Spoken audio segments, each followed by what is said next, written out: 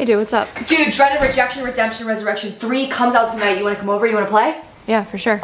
Whoa, whoa, why do you sound sad? You're at the dog park? No. Todd, buddy, we talked about this. Okay, that means it's not good for your healing process. Sorry. No problem. Look, I know you loved her. I loved her. Danny loved her. She was one of us. She was part of the family. She was. You know, your soulmate. Yeah.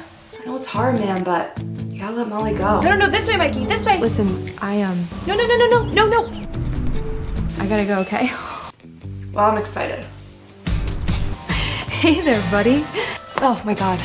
I'm sorry. Oh, please. No worries. Best part of my day. Wow, he likes you. Usually, uh, hates all men. Ah, uh, he probably just picks up on the dog owner energy. Oh, yeah. Yeah, I thought I'd seen you here before. You have the, um, the chocolate lab, right? Where is she? She, uh... Oh. Oh god, I'm sorry. It was her time, you know? What was her name? Molly. Aw, I, um... this is dumb, but I... I'm reading like a book or whatever, and my main character, I named her Molly. So, what do you think it means?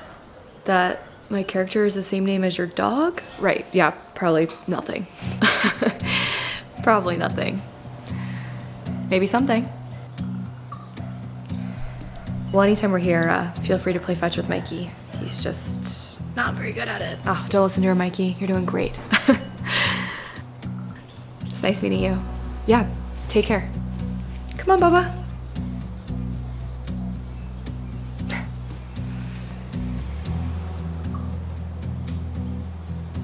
Miss you, Molly girl.